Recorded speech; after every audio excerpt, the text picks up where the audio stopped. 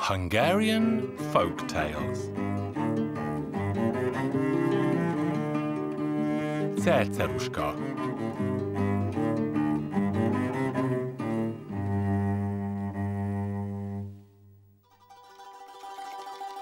Once upon a time, there lived a widower who had two daughters. His next door neighbour was a widow who never stopped recommending herself to the man. Hey, neighbour, take me for your wife. You won't regret it. I will bring up your two daughters, and I'll be like a real mother to them. One day, the poor man finally gave in and married the widow next door.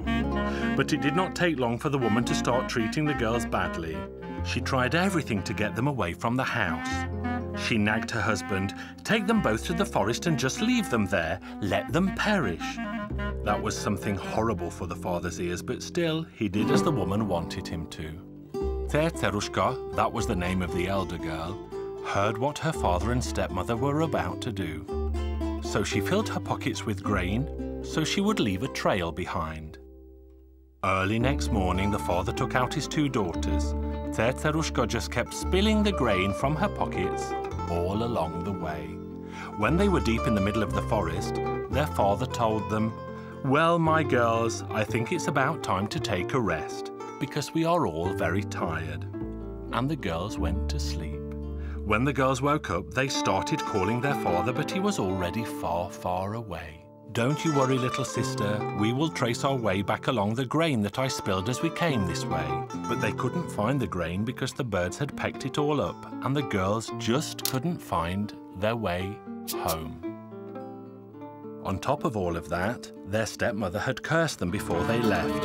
If you drink from the track of an animal, you are going to change into that animal.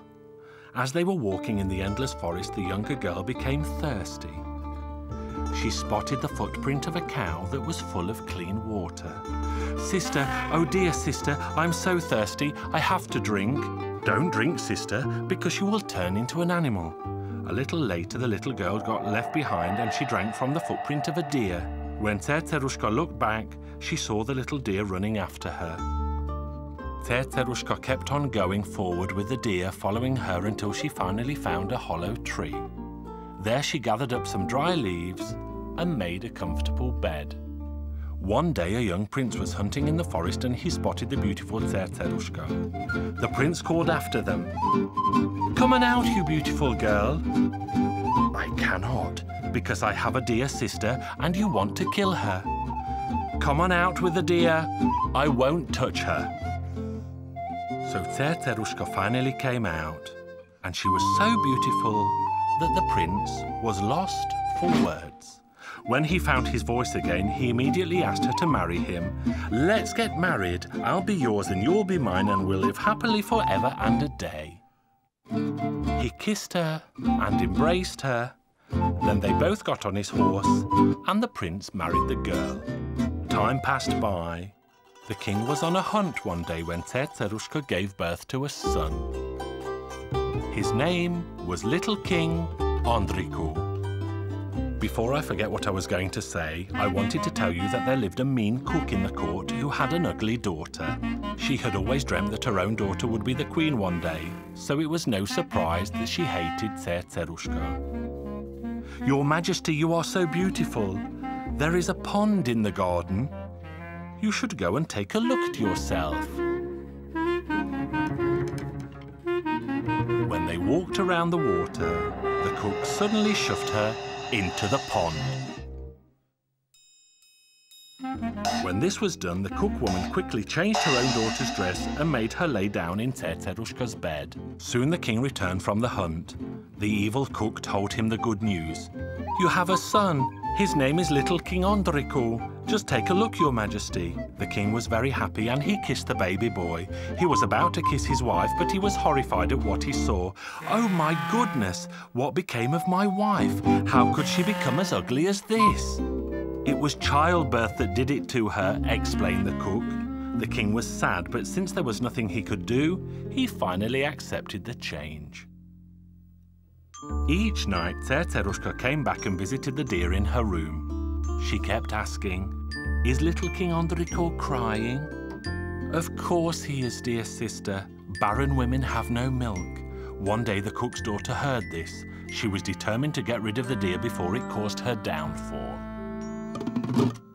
So she said to the king, Darling husband, I'm feeling very weak. I will feel no better until I can eat the heart and liver of this little deer. The deer must be killed. As they were sharpening the knife and washing the bowl for her blood, the deer ran out to the pond and called out, My darling Cerceruska, get up from the depths, from the stomach of the big fish, because they want to cut my throat with a knife. They want to catch my blood in a bowl. They want to kill me too. Then Cerceruska stepped out of the pond, walked up to the deer, and stroked her gently. She was even more beautiful than before. The king heard and saw everything because he was secretly following the deer. He embraced and kissed Cerceruska, who told him everything. The king immediately went to see the cook He said to the cook, What would you do to the person who would not hesitate to destroy my wife? What? I would have the person tied to a horse's tail and have him dragged through the town. And the old woman and her daughter were treated exactly as the old hag had predicted.